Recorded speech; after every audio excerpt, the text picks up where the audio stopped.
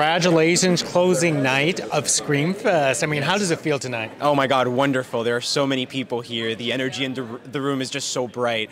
Uh, we're really excited to be around a community of so many creators and talented people.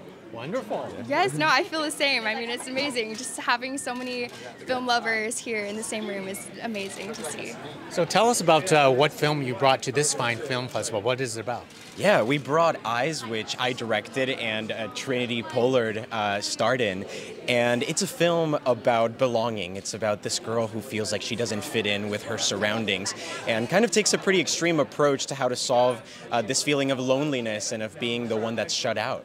Oh, wow. You were that girl.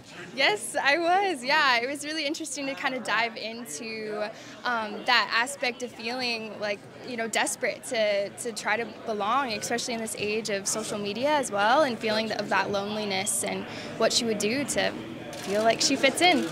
Well said. Well, one, one more thing before I let you go. What was your experience watching the audience watching your film? Oh my God, wonderful. I mean, there's nothing like being in a room with other people watching the same thing, especially on such a beautiful screen as the ones here at the Chinese Theater. Uh, and it's just, you know, when you hear those sounds and the music and everything, it just all comes together and it's, it's something you really can't explain. And they were watching you? Yeah, it was crazy. Um, yeah, seeing everything, our work on the big screen was amazing, and, and the score of the film is absolutely by Eric. Um, and yeah, it was it was incredible to see that work come, kind of come into fruition. And Trinity had such uh, an amazing performance, as well as the rest of our cast. I'm, I'm so proud, and and uh, I think we're also lucky that we got to work with such an awesome team. So uh, we were very excited to be able to share uh, some of some of uh, what we what we reaped. So very excited.